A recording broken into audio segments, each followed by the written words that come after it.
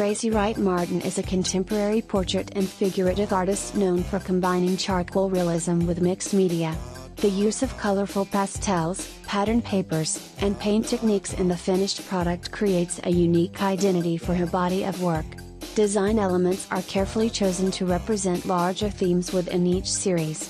The overall narrative in Martin's work weaves in and out of a conversation on identity and representation, explored through the visual symbolism of mixed media.